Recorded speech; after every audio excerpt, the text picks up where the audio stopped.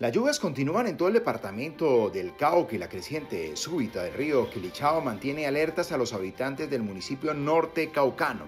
Por el momento, los organismos de socorro y autoridades locales monitorean el comportamiento del afluente. Se recomienda a la población de esta localidad estar pendiente de la información suministrada por los entes competentes para así evitar generar desinformación entre la comunidad.